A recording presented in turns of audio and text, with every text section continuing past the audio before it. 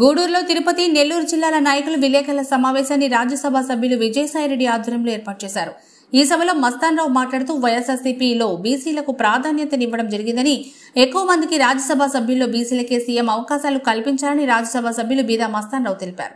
ప్రతి ఇంటికి సంక్షేమాన్ని అందిస్తున్న జగన్మోహన్ రెడ్డి గారిని మళ్ళీ సీఎంగా చేసేలా గెలిపించాలని నెల్లూరు కార్పొరేషన్ చైర్మన్ శ్రవంతి పేర్కొన్నారు. గూడూరులో వైకాపా అభ్యర్థిగా ఉన్న మేరిగా మురళిని గెలిపించాలని అందరు నాయకులు ప్రెస్ మీట్లో వ్యక్తం చేశారు. ఈ కార్యక్రమంలో ఉప ముఖ్యమంత్రి నారాయణ స్వామి ఎమ్మెల్సీ బల్లి కళ్యాణ్ చక్రవర్తి తిరుపతి ఎంపీ గురుమూర్తి వైకాపా నాయకులు కార్యకర్తలు పాల్గొన్నారు. జగనన్న సామాజిక న్యాయానికి ఒక రోల్ మోడల్గా నిలిచినటువంటిది ఈ డెబ్బై ఐదు సంవత్సరాల స్వతంత్ర భారత్లో ఇప్పుడు చూడలేదు. కేవలం ఎలక్షన్ టైంలో ఈ ఎస్సీ ఎస్టీ మైనారిటీ బీసీలని ఓట్ బ్యాంక్ మాత్రమేగా వాడుకుంటూ ఎలక్షన్లు అయిపోయిన తర్వాత వాళ్ళ అభివృద్ధి కానీ సంక్షేమం కానీ వాళ్ళ అభివృద్ధి కానీ పట్టించుకున్నటువంటి ప్రభుత్వాన్ని చూస్తా ఉన్నాం.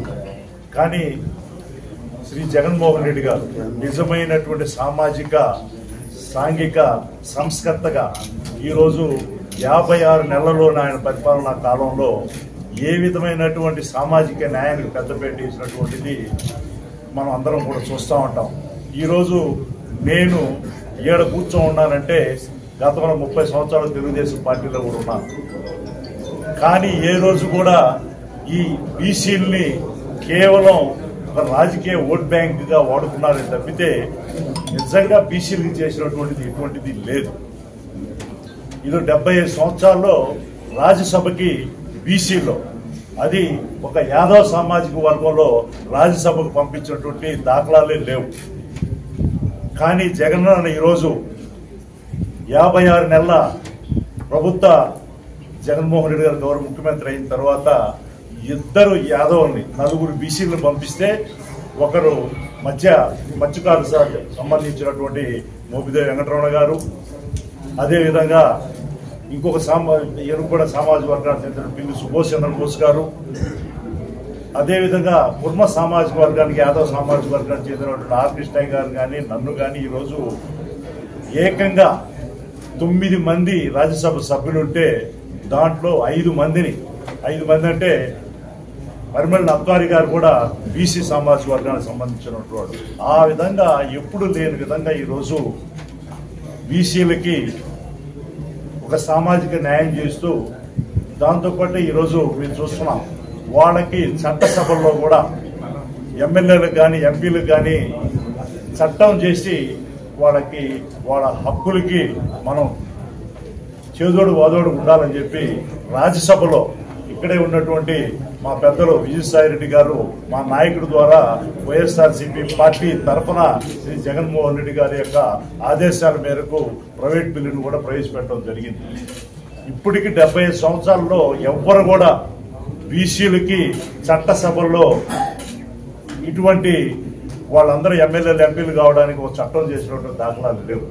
అక్కడ ప్రైవేట్ బిల్లును పెట్టడమే కాకుండా మన ఆంధ్ర రాష్ట్ర శాసనసభ శాసన మండలిలో కూడా దాని చట్టం దాన్ని రికమెండ్ చేస్తూ కేంద్ర ప్రభుత్వానికి కూడా బీసీలకి చట్టసభల్లో వాళ్ళ రిజర్వేషన్తో పాటు దానికి సపరేట్ అయినటువంటి మంత్రిత్వ శాఖ ఒకటి ఉండాలా?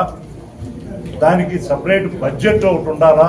అని చెప్పి కూడా మొట్టమొదటిగా గళవెత్తి చాటినటువంటి పార్టీ వైఎస్ఆర్సీపీ పార్టీ దాని అధినాయకుడు శ్రీ జగన్మోహన్ రెడ్డి గారు.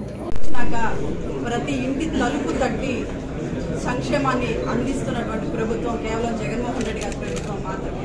ఈరోజు బడుగు బలహీన వర్గాల అందరికి కూడా సమన్వయకత్వం చేస్తూ పార్టీలు కూడా ఇతర పార్టీలు కానీ ఏ పార్టీని కూడా విభేదాలు లేకుండా ఈరోజు సంక్షేమం అందిస్తున్నటువంటి ముఖ్యమంత్రి కేవలం జగన్మోహన్ రెడ్డి గారే.